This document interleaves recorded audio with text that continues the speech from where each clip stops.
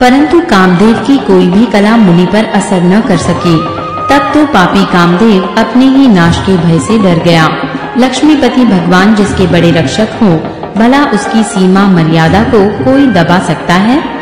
तब अपने सहायकों समेत कामदेव ने बहुत डर कर और अपने मन में हार मानकर बहुत ही आर्त, दीन वचन कहते हुए मुनि के चरणों को जा पकड़ा। नारद जी के मन में कुछ भी क्रोध न आया। उन्होंने प्रिय वचन कहकर कामदेव का समाधान किया। तब मुनि के चरणों में सिर नवाकर और उनकी आज्ञा पाकर कामदेव अपने सहायकों सहित लौट गया। देवराज इंद्र की सभा में जाकर उसने मुनि की सुशीलता और अपनी करतूत सब कही, जिसे सुनकर सबके मन में आश्चर्य हुआ और उन्होंने मुनि की बड़ाई करके श्री हरि को सिर नवाया। तब नारद जी शिव जी के पास गए। उनके मन में इस बात का अहंकार हो गया कि हमने कामदेव को जीत लिया। उन्होंने कामदेव के चरित्र शिव जी को सुनाए और महादेव जी ने उन्हें नारद जी को अत्यंत प्रिय जानकर इस प्रकार शिक्षा दी। हे मुनि, मैं तुमसे बार-बार विनती करता हूँ कि जिस तरह यह कथा तुमने मुझे सुनाई है, उस तरह भगवान श्री हरि को कभी मत सुनाना। चर्चा भी चले तब भी इसको छिपा जाना।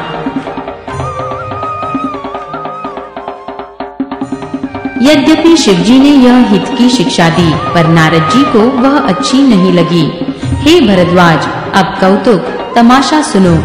हरि की इच्छा बड़ी बलवान है। श्री रामचंद्र जी जो करना चाहते हैं, वही होता है। ऐसा कोई नहीं जो उसके विरुद्ध कर सके। श्री शिव जी के वचन नारद जी के मन को अच्छे नहीं लगे। तब वे वहाँ से ब्रह्मलोक को चल दिए।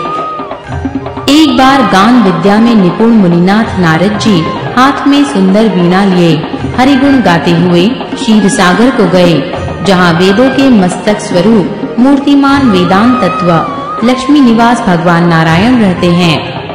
राम निवास भगवान उठकर बड़े आनंद से उनसे मिले और ऋषि नारद जी के साथ आसन पर बैठ गए।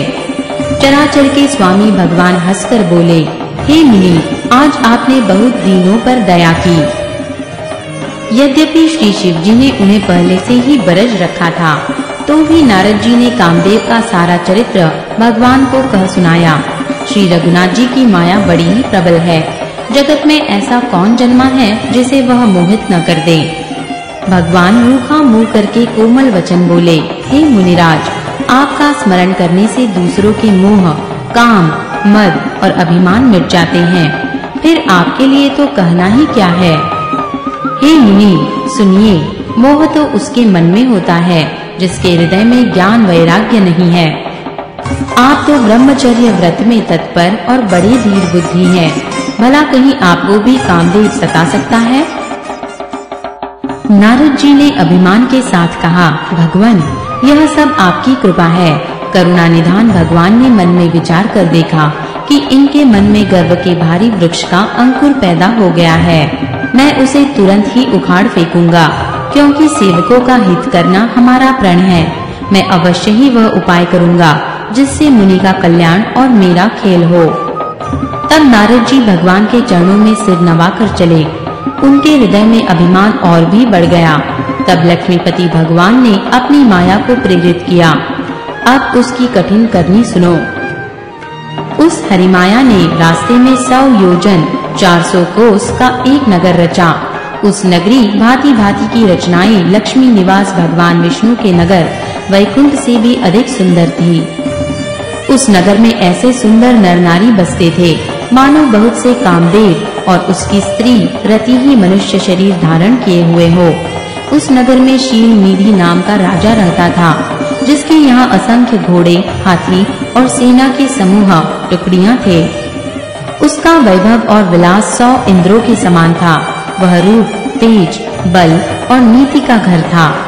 उसके विश्व मोहिनी नाम की एक ऐसी रूपवती कन्या थी, जिसके रूप को देखकर लक्ष्मी जी भी मोहित हो जाए। वह सब गुणों की खान भगवान की माया ही थी। उसकी शोभा का वर्णन कैसे किया जा सकता है? वह राजकुमारी स्वयंवर करना चाहती थी। इससे वहाँ अगणित राजा आए हुए थे। खिलवाड़ी मुनि नारद जी उस नगर में गए और नगरवासियों से उन्होंने सब हाल पूछा। सब समाचार सुनकर वे राजा के महल में आए। राजा ने पूजा करके मुनि को आसन पर बैठाया।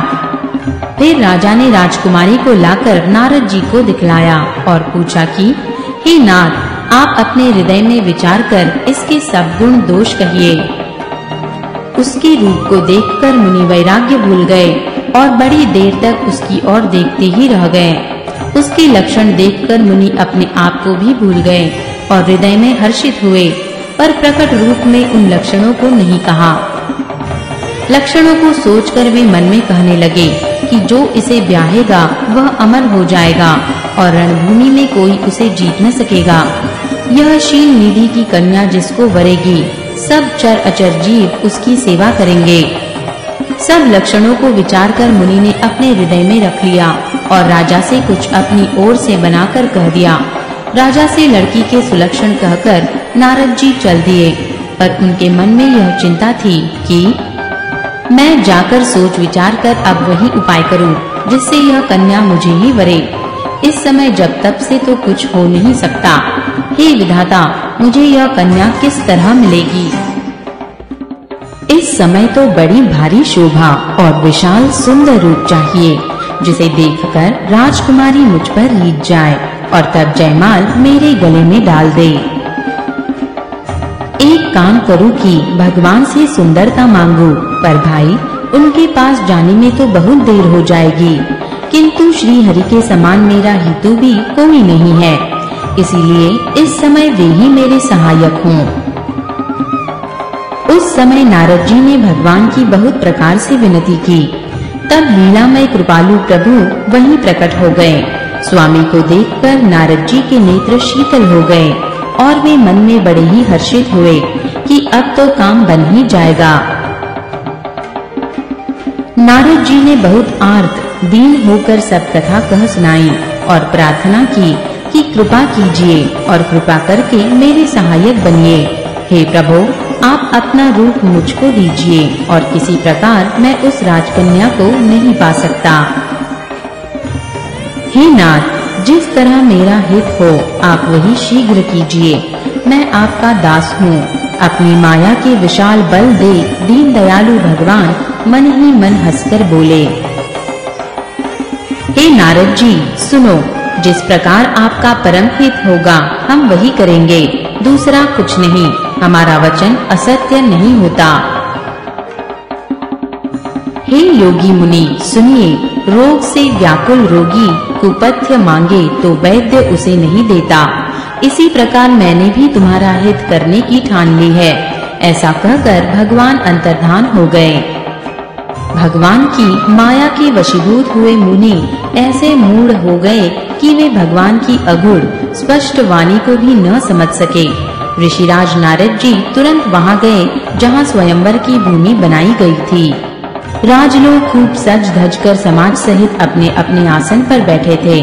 मुनि नारद मन ही मन प्रसन्न हो रहे थे कि मेरा रूप बड़ा सुंदर है, मुझे छोड़ कन्या भूलकर भी दूसरे को न वरेगी। कृपा निधान भगवान ने मुनि के कल्याण के लिए उन्हें ऐसा कुरूप बना दिया कि जिसका वर्णन नहीं हो सकता। पर यह चरित्र कोई भी न जान सका। सबने उन्हें नारद ही जानकर प्रणाम किया। वहाँ दो शिवजी के गण भी थे। वे सब भेद जानते थे और ब्राह्मण का वेश बनाकर सारी लीला देखते फिरते थे। वे भी बड़े मौजी थे। नारद जी अपने हृदय में रूप का बड़ा अभिमान लेकर जिस समाज पंक्ति में जाकर बैठे थे। ये शिवजी के दोनों गण भी वहीं बैठ गए। ब्राह्मण के वेश में होने के कारण उनकी इस चाल को कोई न जान सका। वे नारद जी को सुना सुना कर व्यंग वचन कहते थे। भगवान ने इनको अच्छी सुंदरता दी है। इनकी शोभा देखकर राजकुमारी रीझ ही जाएगी और हरि वानर जानकर इन्हीं को खास तौर से वरेगी। नारद मुनि को मोह हो रहा था, क्योंकि उनका मन दूसरे के हाथ, माया के वश में था। शिव जी के गण बहुत प्रसन्न होकर हंस रहे थे। यद्यपि मुनि उनकी अटपटी बातें सुन रहे थे, पर बुद्धि भ्रम में सनी हुई होने के कारण वे बातें उनकी समझ में नहीं आती थी। उनकी बातों को वे अपनी प्रशंसा समझ रहे थे। इस विशेष चरित्र को और किसी ने नहीं जाना। केवल राजकन्या ने नारद जी का वह रूप देखा। उनका बंदर का सा मुँह और भयंकर शरीर देखते ही कन्या के हृदय में क्रोध उत्पन्न हो गया। तब राजकुमारी सखियों के साथ लेकर इस तरह चली। मानो राजहंसिनी चल रही है। वह अपने कमल जैसे हाथों में जयमाला लिए सब राजाओं को देखती हुई घूमने लगी। जिस और नारद जी रूप के गर्भ में फूले बैठे थे, उस और उसने भूलकर भी नहीं ताका। नारद मुनि बार-बार उचकते और छटपटाते हैं। उनकी दशा देखकर शिवजी के गण मुस्कुराते हैं। कृपालु भगवान भी राजा का शरीर धारण कर वहाँ जा पहुँचे। राजकुमारी ने हर्षित होकर उनके गले में जयमाला डाल दी। लक्ष्मी निवास भगवान दुल्हन को ले गए। सारी राजमंडली निराश हो गई। मोह के कारण मुनि की बुद्धि नष्ट हो गई थी। इससे वे राजकुमारी को गई देख बहुत ही विकल हो गए। मानो गांठ से छूटकर मणि गिर गई हो। तब शिवजी के गणों ने मुस्कुराकर कहा, जाकर दर्पण में अपना मुँह तो देखिए। ऐसा कहकर वे दोनों बहुत भयभीत होकर भागे। मुनि ने जल में झांककर अपना मुँह देखा। अपना रूप देखकर उनका क्रोध बहुत बढ़ गया। उन्होंने शिवजी के उन गणों को अत्यंत कठोर शाप दिया। तुम दोनों कपटी और पापी जाकर राक्षस हो जाओ। तुमने हमारी हँसी की, उसका फल चखो। अब फिर किसी मुनि की हँसी करना। मुनि ने फिर जल में देखा तो उन्हें अपना असली रूप प्राप्त हो गया। तब भी उन्हें संतोष नहीं हुआ। उनके होठ पड़क रहे थे और मन में क्रोध भरा था। तुरंत ही वे भगवान कमलापति के पास चले। मन में सोचते जाते थे, जाकर या तो श्राप दूँगा या प्राण दे दूँगा। उन्होंने जगत में मेरी हँसी कराई। दैत्यों के शत्रु भगवान हरि उन्हें बीच रास्ते में ही मिल गए। साथ में लक्ष्मी जी और वही राजकुमारी थी। देवताओं के स्वामी भगवान ने मीठी वाणी में कहा, हे मुनि, व्याकुल की तरह कहाँ चले? ये शब्द सुनते ही नारद को बड़ा क्रोध आया। माया के वशीभूत होने के कारण मन में चेत नहीं रहा।